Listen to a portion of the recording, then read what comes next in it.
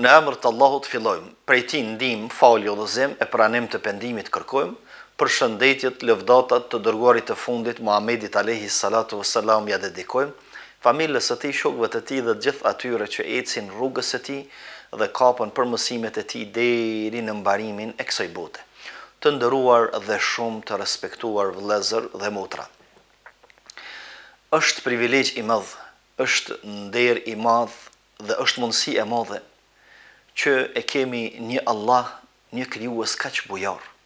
Allahu i Lartësuar i cili përshkruhet me cilësinë e tij bujarinë, bujaria e tij që nuk ka kufi, me bujarinë e tij që çdo ditë po i gëzojmë të mirat e Allahut po jetojmë me to edhe pse nuk jemi falënderues të mjaftueshëm, edhe pse nuk e falënderojmë sa duhet, nganjëherë edhe pse jemi mosmirënjohës ose shumë prej njerëzve janë mosmirënjohës të begative dhe dhuntive të Allahut, prapë Allahu i Lartësuar me bujarinë e Tij bën që të mirat e Tij të mos ia ndal, të mos ia ndal njerëzimit. Bujaria e Allahut shkon aq lart sa nuk mund ta arrijë edhe mendja e njeriut. Allahu i Lartësuar me bujarinë e Tij bën që Njeriu besimtari të punojë pak dhe të fitojë shumë, të shpërblehet shumë. Kështu bëri Allahu i Lartësuar, kështu i caktoi matematikat e tij, ia caktoi vetes, matematika me të cilat i bën llogaritë ai deri në Ditën e Gjykimit, madje edhe në Ditën e Gjykimit po me këtë matematikë Allahu i Lartësuar llogarit.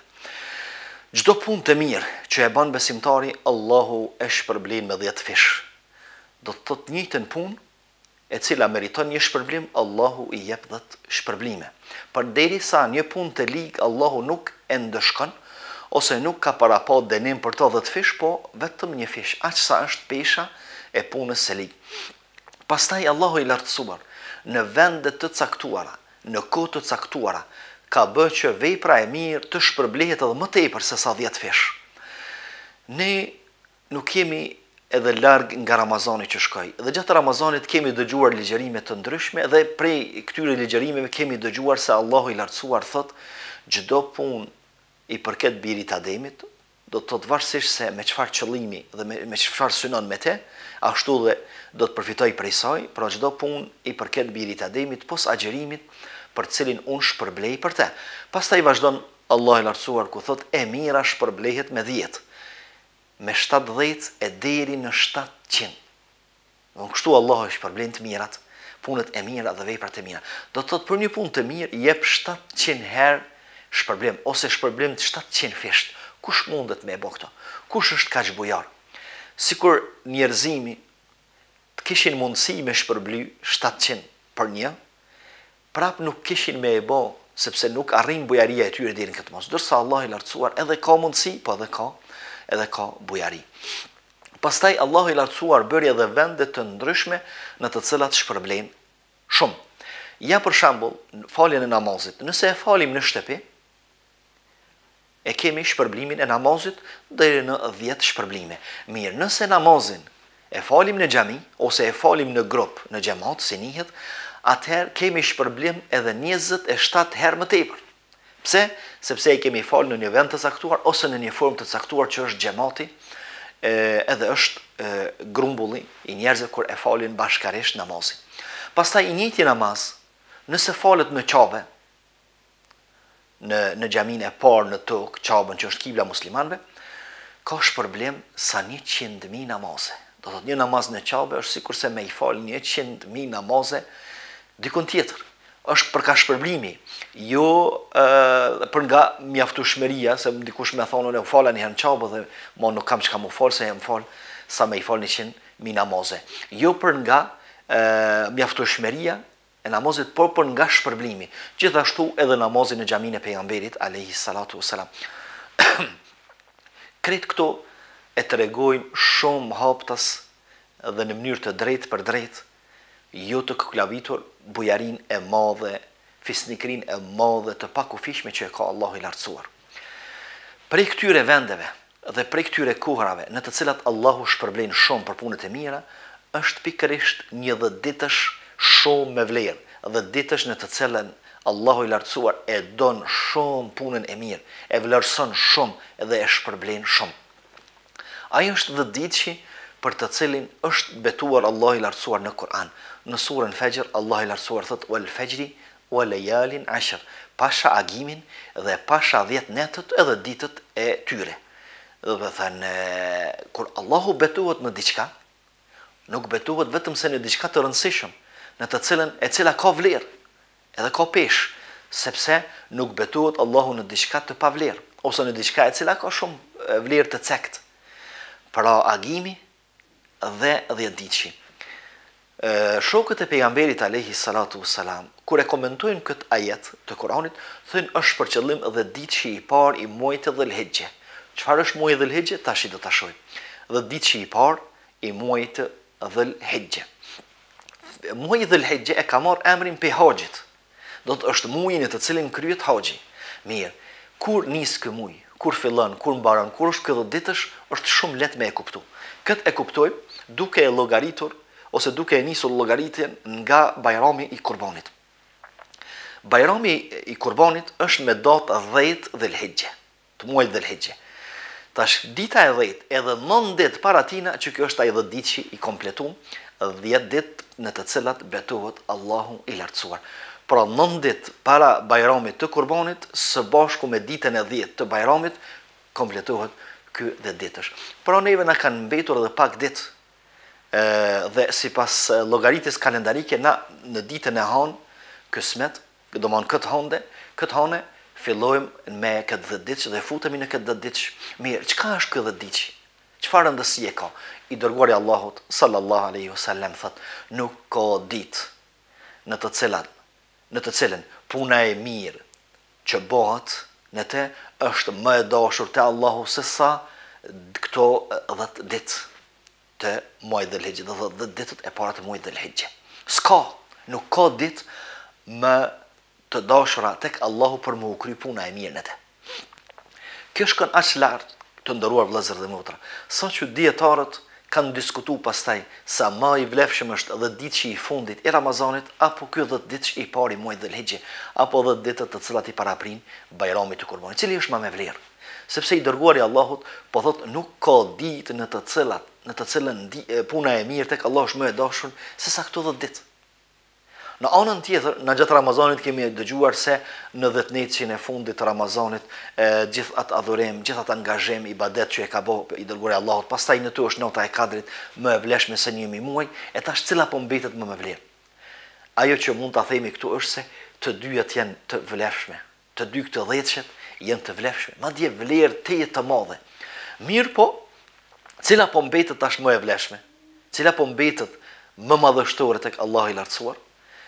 Thonë dijetarët, kur e shpjegojnë këtë fenomen, se a dhjetënetëshi i fundit i Ramazanit, apo ky dhjetëditësh i cili i paraprin Bajramit të Kurbanit, thonë se dhjetënetësh si net janë më të vlefshme të Ramazanit, ndërsa si ditë janë po pikërisht ky dhjetëditësh i cili i paraprin Bajramit të Kurbanit. Dhjetëditësh në të cilat në të cilat puna e mirë është shumë e dashur tek Allahu. E njëjta punë e cila kryhet jashtë këtyre ditëve nuk e ka trajtimin e njëjtë, nuk e ka shpërblimin e njëjtë sikurse të kryhej në këtë dhjetëditësh. Mirë, çfarë janë ato punë të mira ose çfarë mund të kryejmë gjatë këtyre dhjetë ditëve? Gjatë këtyre dhjetë ditëve, të nderuar dhe shumë të respektuar, kryhet një adhurim shumë madhështor. Madje është shtyllë e fesë, ai është haxhi. Mirëpo, jo të gjithë kanë mundësi me e kry haxhin. Nuk ka mundësi të gjithë njerëzit, të gjithë besimtarët me e kry haxhin. Mirëpo, për ata të cilët e kanë këtë mundësi edhe ia ka lehtësuar Allahu i Lartësuar, pra është kryeadhurimi i këtyre dhjetë ditëve. Është haxhi ai adhurim, shtyllë e Islamit, për të cilin Pejgamberi alejhi salatu ves selam thotë, atij që i pranohet haxhi, domethënë bën haxh të pranuar dhe i pranohet tek Allahu i Lartësuar, nuk ka shpërblim tjetër pos Xhenetit. Domethënë, është rrugë shumë e shkurtë për me hy në Xhenet, adhurimi i haxhit, i cili bëhet pikërisht në këto ditë. dhe vazhdon pastaj edhe mas ditës së Bajramit të Kurbanit. Mirë, çka mbetet prej punëve të mira për ata të cilët nuk munden me e kry haxhin? Mbeten shumë prap. Prap ka shumë vepra të mira me të cilat karakterizohet ky 10 ditësh.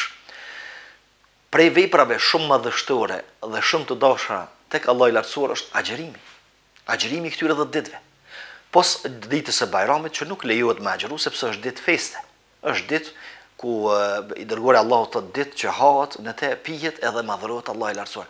Mirëpo thuhet dhjetëditësh për shkak se me ditën e Kurbanit të Bajramit kompletohet ky dhjetësh, mirëpo kur flasim për agjërim është për qëllim nandshja e parë e posaqërisht dita e Arafatit. Dita e Arafatit, agjërimi i ditës së Arafatit, e cila është nata e Bajramit. është në, në dita e 10, dita e 9 e muajit të Dhulhixhes, që është nata e Kurbanit të Bajramit. Pejgamberi alejhi salatu ves selam, për gjithë ata të cilët nuk kanë pasur mundësi që në ditën e Arafatit të jenë në fushën e Arafatit, domethënë të jenë pjesë e haxhit, edhe pjesë e haxhive, kanë mundësi me agjëru këtë ditë duke qenë në shtëpitë e tyre. Çfarë është shpërblimi për agjërimin e kësaj dite? Thotë i Dërguari i Allahut, kush e agjëron Ditën e Arafatit, ose agjërimi i ditës së Arafatit i fshin mëkatet e vitit të kalum edhe vitit që vjen. Domethënë Allahu i lartësuar me të dhënë bonus falje të mëkateve për dy vite, pse e agjëron një ditë? A ka nevojë më tepër me shpjegu se kjo ditë është e rëndësishme, se agjërimi i kësaj dite është shumë i madh dhe shpërblimi është shumë i madh? Mendoj që nuk ka nuk ka vend më për me shpjegu më tepër edhe nevojë për me shpjegu më tepër, se sa me thonë që Allahu i lartësuar i fal mëkatet e dy viteve për një ditë agjërim. Mirëpo, preferohet edhe është i mirë edhe ka shpërblim të madh edhe agjërimi i ditëve para ditës së Arafatit. Domethon edhe agjërimi i tetë ditëve tjera para kësaj, para kësaj dite. Pastaj, adhurim tjetër që kryhet gjatë këtyre ditëve është kurbani. Kurbani i cili vendoset për me u pre gjatë këtyre ditëve, mirëpo prehet në ditën e Bajramit, ose në ditën e dytë, e tretë, e të katërt. Mirëpo, vendimi për me e pre kurbanin zakonisht mirret gjatë këtyre ditëve.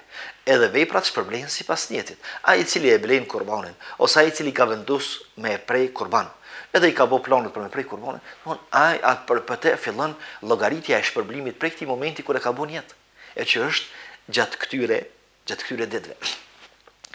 E, ndërsa e, premja e kurbanit është adhurim dhe është ibadet në veti të cilën nuk bën që besimtari ta lëshojë këtë mundësi përderisa i ka kushtet për me e therë për me e therë kurbanin kur dihet që edhe i dërguari i Allahut ka therë kurban për bajram dhe ka porositur shokët e tij por edhe gjithë muslimanët që me pre kurban për shkak të vlerës së madhe dhe shpërblimit të madh që e ka ky ibadet pastaj prej adhurimeve tjera e kemi përmendjen dhe madhërimin e Allahut prej kur futemi në këto ditë, pra domethënë nga e hëna, me një Dhul-Hixhe, ose nëntë ditë para ditës së Bajramit të Kurbanit. I Dërguari i Allahut e praktikonte, po edhe shokët e tij e madhëronin Allahun duke thënë, Allahu Ekber, Allahu Ekber, La ilahe illa Allah, Allahu Ekber, Allahu Ekber, Welillahi'l Hamd, edhe mënyra tjera të dhikrit ose përmendjes së Allahut të cilat e shprehin madhërimin. e shprehin madhërimin ndaj Allahut të Lartësuar, e lartësojnë Atë dhe e përmendin Allahun e Lartësuar shumë gjatë këtyre ditëve. Edhe pse Allahu duhet të përmendet dhe të madhërohet vazhdimisht, mirëpo të shtohet intensiteti i madhërimit edhe i përmendjes, dhikrit gjatë këtyre dhjetë ditëve. Gjithashtu, adhurim tjetër kemi edhe sadakat e ndryshme, lëmoshat e ndryshme, sepse gjithashtu këto ditë i paraprijnë një dite të madhe feste, e që i dërguari i Allahut, sallallahu alejhi ve sel-lem, gjithmonë i ka nxit besimtarët që në ditën e festave, të festës së bajramit të fetrit dhe bajramit të kurbanit, që të jenë sa më dorëlirë të jenë sa më solidarë në mënyrë që të gjithë muslimanët, edhe ata që s'kanë, edhe të varfërit, të kenë me çka me e festu, me i festu bajramet. Pra, të të ka nxitë për për sadak për ata dhe Allahu i lartësuar e ka caktuar sadakatul fitrin para bajramit të fitrit, mirëpo edhe e ka caktu kurbanin në mënyrë që mishi i tij të shpërndahet dhe njerëzit të festojnë, njerëzit të kenë me hangër mish në ditën e bajramit dhe tanin festimin dhe të bashkë festojnë edhe me ata tjerët të cilët i kanë mundësitë dhe i kanë kushtet. Pastaj edhe çdo punë tjetër e mirë. Çdo punë tjetër e mirë në këto ditë është shumë ma e madhe dhe shpërblehet shumë ma shumë se sa të veprohet gjatë ditëve tjera. Andaj, me një fjalë nuk mbetet tjetër pos që të shfrytëzohet kjo mundësi, të shfrytëzohet ky 10 ditësh i artë, 10 ditësh i madh, 10 ditësh i shpërblimeve shumë të mëdha. Që vepra e mirë në to e përmendëm më herët, që nuk e don Allahu i Lartësuar ma tepër në asnjë ditë tjetër sa e don në këto ditë që bëhet. Për ata lidhjet farefisnore, pajtesat me njerëz nëse kemi ngatrresa ose kemi hatërmbetje, sadakat e ndryshme, ndihmesat e ndryshme, pendimi istigfari, respektimi ndaj prindërve dhe çdo punë tjetër e mirë që bëhet gjatë këtyre ditëve është më e dashur te Allahu sesa e njëjta po të bëhej gjatë ditëve tjera. Pastaj e kemi mundësi të artë gjithashtu me i, me i nis dhe me iniciu punë të mira. Edhe me e me e bo një pendim të sinqertë pendim i cili na e ofron edhe na siguron një ndryshim të mirë dhe pozitiv drejt Allahut të Lartësuar. Pra është mundësi e madhe dhe mundësi shumë e mirë që me e fillu namazin ata të cilët nuk falen. Ata të cilët nuk falen rregullisht është mundësi e madhe që gjatë këtyre ditëve me i shfrytëzu këto di këto ditë me vlerë dhe me e fillu rregullisht namazin. Pastaj namazi në xhami, namazet vullnetare, namazet nafile. E të gjitha këto mundemi mundemi me i arrit gjatë këtyre ditëve. I arrijmë edhe gjatë ditëve tjera. Mirëpo ndjenjën që e kemi në këto ditë, nuk e kemi në ditët tjera, sepse Allahu po thotë, unë i du veprat e mira, më së shumti këto ditë. Këto ditë të cilat jemi ka e thonë. E tashi, e, pse besimtari, i cili i frikësohet dënimit të Allahut, edhe e shpreson shpërblimin e Allahut, edhe dëshiron me qenë në në në mëshirën e Allahut, me me arrit faljen e Allahut, pse mos me i shfrytëzu këto ditë të mëdha? Kur Allahu i lartësuar i ka caktuar bonus për ne. Bonus ku një vepër shpërblehet shumë më shumë, është më e dashur tek Allah. Kur një vepër është më e dashur tek Allah, normal që Allahu jep më tepër dhe shpërblen më tepër për te.